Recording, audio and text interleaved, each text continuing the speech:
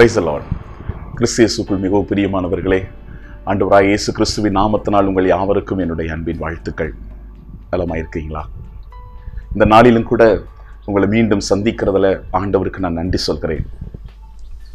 தேவனுடைய கிருபையும் அவருடைய மகத்துவமும் பரிசுத்தாவியானவருடைய அசைவாடுதலும் உங்க கூட என்றும் இருக்கும்படி நான் ஜெபம் பண்ணுகிறேன்.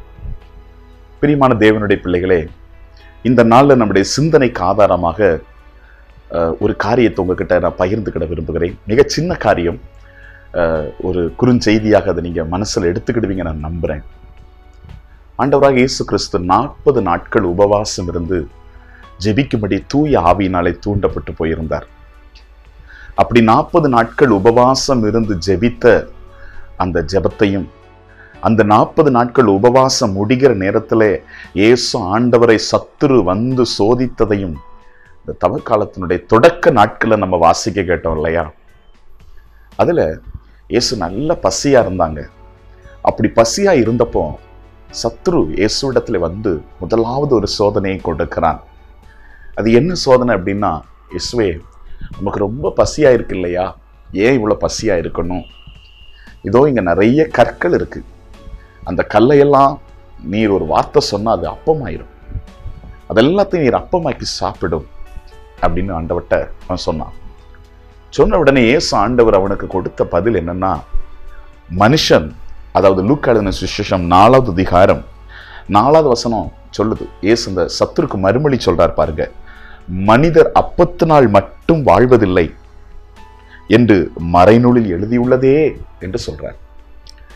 இன்னொரு பகுதியில் நம்ம பார்க்கும்போது மனுஷன் அப்பத்தினால மாத்திரமல்ல கடவுளுடைய வாயிலிருந்து வரக்கூடிய ஒவ்வொரு வார்த்தையினாலும் உயிர் வாழ்கிறான் என்கிற பழைய ஏற்பாட்டு வசனத்தை ஆண்டவர் சுட்டி காட்டுறார். பிரியமான தேவனுடைய பிள்ளைகளே கொஞ்சம் இந்த சத்துரு கொடுத்த இந்த சோதனையை கொஞ்சம் யோசித்து பாருங்க.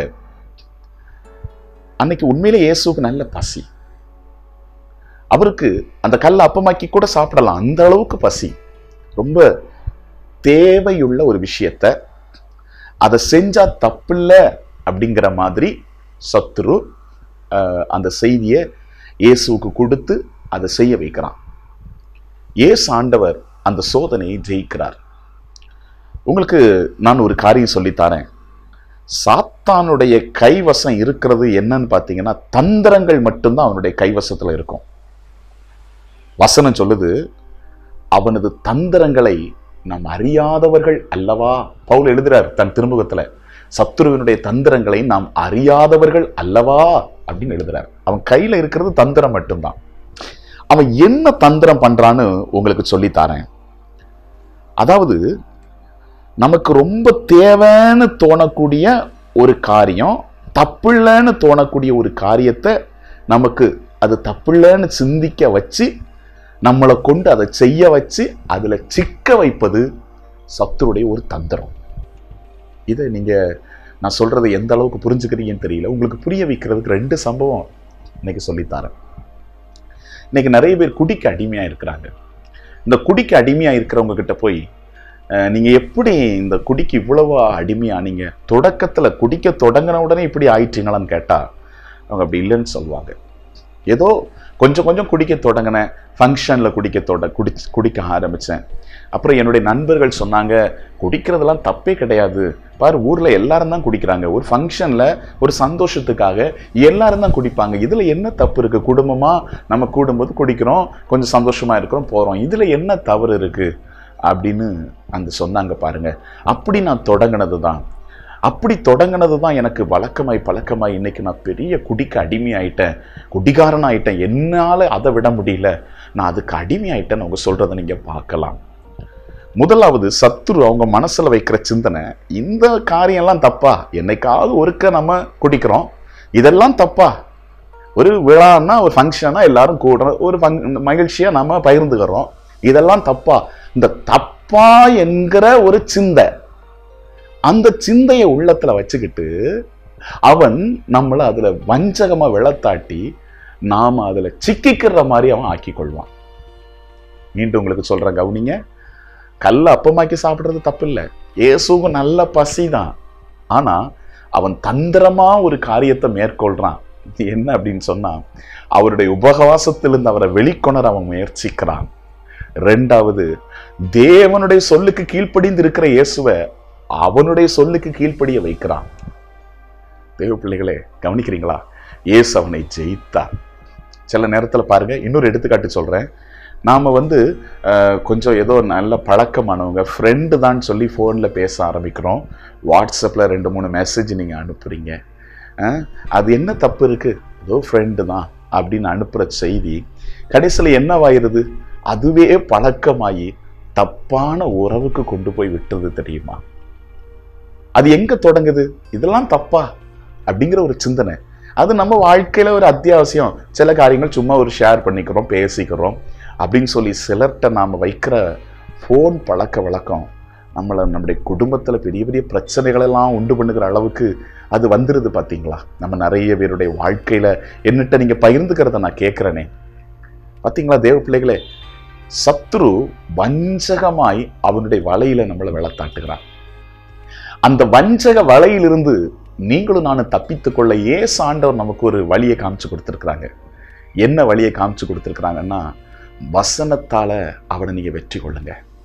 மனுஷன் அப்பத்தினால மட்டுமல்ல கடவுளுடைய ஒவ்வொரு வார்த்தையினாலும் அவன் உயிர் வாழ்கிறான் என்று ஆண்டோடைய வார்த்தை சொல்லுது. அப்போ ஆண்டவருடைய வார்த்தையினால உங்க இருதயத்தை நிரப்புங்க. இவங்க சொல்றது சரி அவங்க சொல்றது சரி அவங்க சொல்றாங்கல்ல யாரும் செய்யாததையா நான் செய்கிறேன் அதெல்லாம் சரி தப்புன்னு ஆயிராது மக்களே. ஆண்டவருடைய வார்த்தை என்ன சொல்லுதோ அதுதான் சரி அதுதான் தப்பு. தேவனுடைய வார்த்தை தப்புன்னு சொல்றது தப்பு தான் அப்ப தேவனுடைய வார்த்தை நீ செய்யக்கூடிய காரியத்தை எச்சரிக்குது குடி பழக்கம் உன்னை பாவத்துல கொண்டு போகுது அப்படின்னு சொன்னா ஒரு வஞ்சகமா உன்னை ஏமாத்துதுன்னு சொன்னா தேவ பிள்ளையே இன்னைக்கு அதை விட்டு வெளியே வா. வசனத்துக்கு நீ கீழ்ப்படி. அப்பொழுது சத்துருடைய வஞ்சக வலையிலிருந்து ஆண்டவர் உனக்கு விடுதலை தருவார். நாம் ஜெபம் பண்ணுவோமா?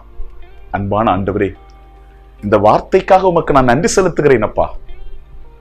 சத்துரு எங்களுக்கு அத்தியாவசியமான சில காரியங்களை எங்களுக்கு கொண்டுட்டு வந்து அது எங்களுக்கு ரொம்ப தேவை என்கிற உணர்வை தந்து அதுல வஞ்சகமா எங்களை சிக்க வைக்கிறான் ஆண்டவரே உங்களுக்கு கூட பசியா இருந்தப்போ அவன் வஞ்சகமாக அந்த காரியத்தை அவன் கொண்டு வந்த ஆண்டவரே. ஆனால் நீர் வார்த்தையினால் ஜெயிச்சதை போல நாங்களும் சத்துருவ உம்முடைய வார்த்தையினால ஜெயிக்கணும். உங்களுடைய வார்த்தை என்ன சொல்லுதோ அதுக்கு மாத்திரம் கீழ்ப்படிஞ்சு வாழக்கூடிய கிருபை எங்களுக்கு தாங்காண்டவரே சக்தி எங்களுக்கு தாங்காண்டவரே ஆற்றலை எங்களுக்கு தாங்காண்டவரே. இதை பார்க்கிற ஒவ்வொருவருக்கும் அந்த ஆற்றலை நல்கி கொடுங்கப்பா. உங்க வசனத்தின் சக்தி இவர்களை நிரப்பட்டுமப்பா. தங்களுடைய இருதயத்தில் இந்த நாட்களில் ஒரு தீர்மானம் எடுப்பார்களாக. ஆண்டவருடைய வார்த்தை என்ன சொல்லுதோ அதுக்கு நான் கீழ்ப்படிவேன். மனுஷங்க சொல்றதெல்லாம் சட்டமாயிராது ஆண்டவரே உடைய வார்த்தை சொல்வதற்கு நான் கீழ்ப்படிவேன் என்கிற அந்த உணர்வை இதை பார்க்கிற ஒவ்வொருவருக்கும் நீர் ஊற்றுவீராக. உங்க வள்ளிய கரத்துக்குள்ள நான் விட்டு கொடுத்து ஜெபிக்கிறேன்.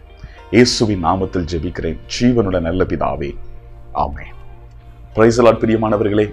தேவனுடைய மகிமையின் பிரசனமும் அவருடைய கரமும் உங்களோடு கூட தங்கி இருப்பதாக ஆண்டவர் இந்த நாளிலும் உங்க கரத்தை பிடிச்சுக்கிட்டு உங்களை வழி நடத்துவாராக. பிரைசலாட் பிரைசலாட்